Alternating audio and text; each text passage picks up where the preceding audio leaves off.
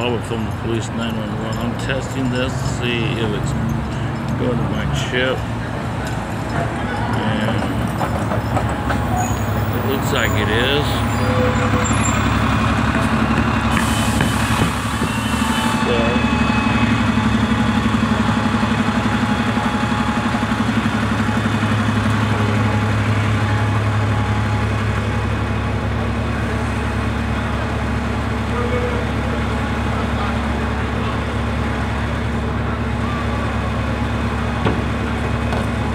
How you doing?